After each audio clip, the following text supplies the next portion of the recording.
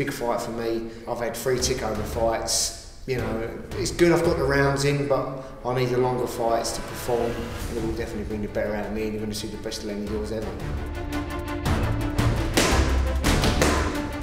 There's so much more to him now. He's had so much to his footwork and, and changing his angles. He's looking really good. I'm really pleased. Really pleased. It's been a hard camp. We've had plenty of sparring. Ricky Burns, former world champion, uh, Bradley Skeete, Lloyd Elliott, bigger, stronger fighters. We've seen some footage of Fadli, uh, so we know he's durable and he's quite strong. If he'd be there at the end of Lenny's work rate, then fair enough, then we'll hopefully take it on points. If not, then a late stoppage is possible. If it's an early night, it's an early night, but we're just gonna, you know, do what we've been doing in the gym. If it comes, it comes. If not, I'm prepared to go to 12 rounds.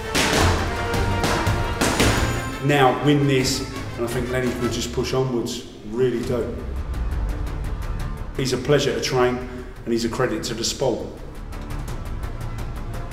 We're smack on, we're ready. Um, yeah, it's just, just sharpening up now. We're ready to go and get a title.